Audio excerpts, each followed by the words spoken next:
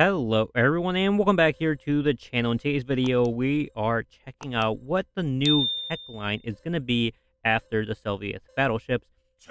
In the Chinese version for their patch notes they have already told us what is the next line. But first I do want to go ahead and quickly show you on how much XP you're going to be needing for these Soviet battleships. Only from tier 3 through tier 8.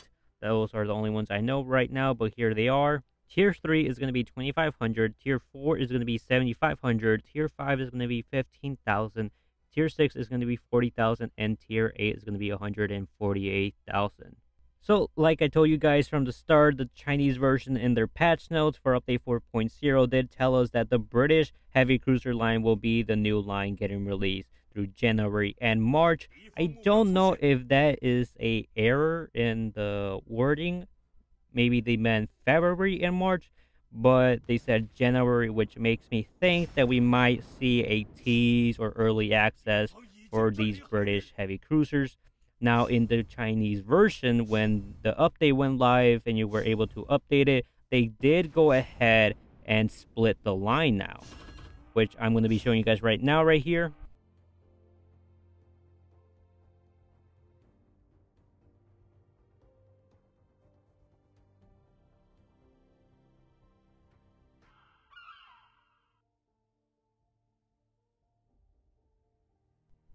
So I just showed you guys that in the Chinese version, there is already a gap between the battleships and the cruisers. That is where the heavy British cruisers are going to be added.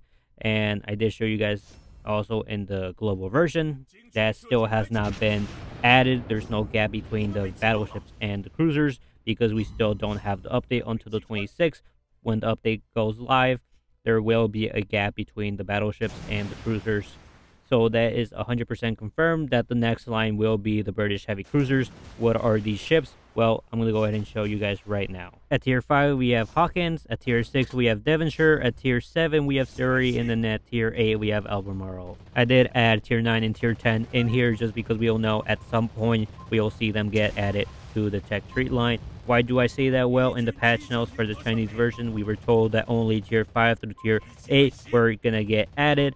So that gives me the idea that they're going to do what they have done in the past uh, for the Japanese destroyer split line, where tier 5 through tier 8 were the only ones that got added, as well for the American cruiser split line, where tier 6 through tier 8 got added, I think, and then tier 9 and tier 10 came out for both those lines later throughout the month or the following month.